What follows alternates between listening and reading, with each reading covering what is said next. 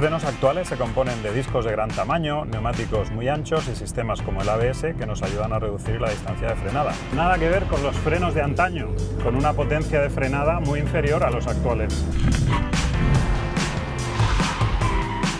Fijaos en la evolución de la carrocería, por ejemplo, en elementos estructurales como este que llamamos talonera. Y ahora mirad la anchura de este elemento en un vehículo actual.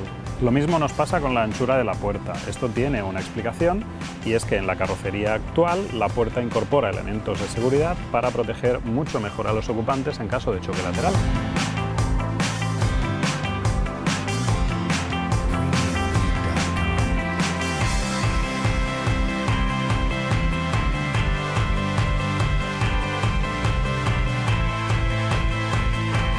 El cinturón de seguridad del 600 era una cinta inextensible que teníamos que adaptar a nuestro cuerpo. Actualmente el cinturón se adapta perfectamente para protegernos en caso de colisión. Otros elementos clave para protegernos en caso de accidente son airbags y apoyacabezas.